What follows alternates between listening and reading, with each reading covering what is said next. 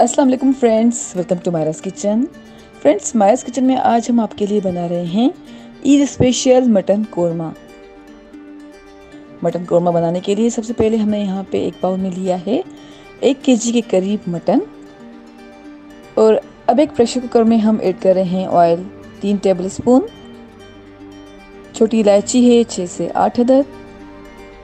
जावित्री ऐड कर रहे हैं एक अदद। दालचीनी की स्टिक्स हैं दो अदद।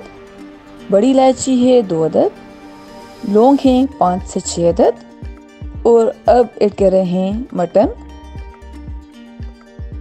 और मटन को कुछ सेकंड्स के लिए फ्राई करेंगे।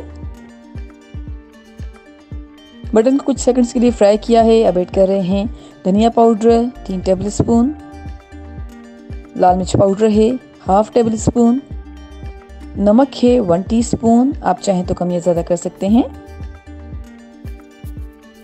लहसुन का पेस्ट है वन टेबल स्पून और अब अच्छी तरह से मिक्स कर रहे हैं।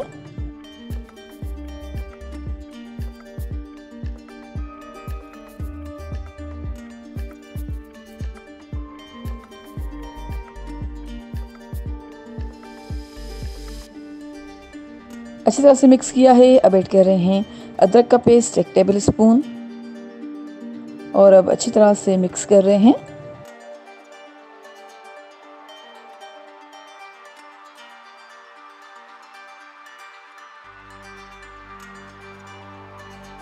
और अब तकरीबन 10 मिनट तक मटन को हाई फ्लेम पर भूनेंगे। जी फ्रेंड्स हमने तकरीबन 10 मिनट तक मटन को हाई फ्लेम पर भूना है। अब ऐड कर रहे हैं दही डेढ़ कप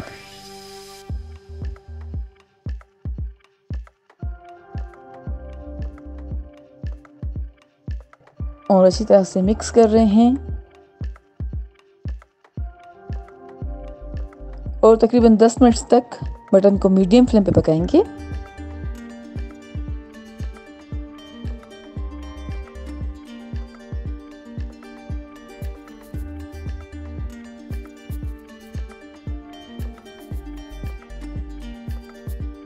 जी फ्रेंड्स, हमने तकरीबन 10 मिनट तक मटन को मीडियम फ्लेम पे पकाया है।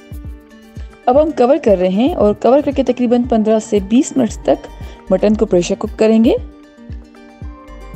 जी फ्रेंड्स हमने तकरीबन 15 से 20 मिनट तक मटन को प्रेशर कुक किया है।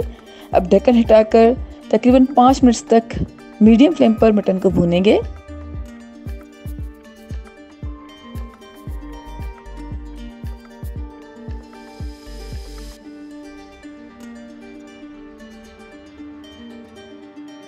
पाँच मिनट तक मटन को मीडियम फ्लेम पे भूना है। अब हम ऐड कर रहे हैं फ्राइड अनियन दो दत मीडियम साइज़ की प्याज लेकर हमने फ्राई कर लिया था।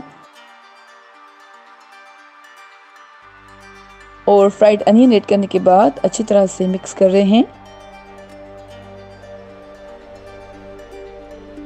और अब मज़ीद 10 मिनट तक मीडियम फ्लेम पर पकाएँगे।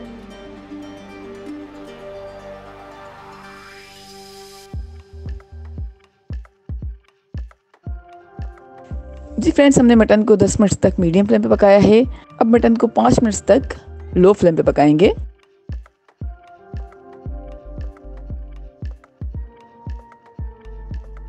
मटन को पाँच मिनट तक लो फ्लेम पे पकाया है और हमारा मज़ेदार ईद स्पेशल मटन कौरमा आप सर्विंग के लिए बिल्कुल तैयार है। उम्मीद करते हैं आपको आज की हमारी रेसिपी ज़रूर पसंद आई होगी। Thank you so much for watching हमारी वीडियो को लाइक कीजिएगा और हमारे चैनल को सब्सक्राइब ज़रूर करें। आपसे इंशाल्लाह मिलते हैं एक और वीडियो में। जब तक के लिए अल्लाह हाफिज़।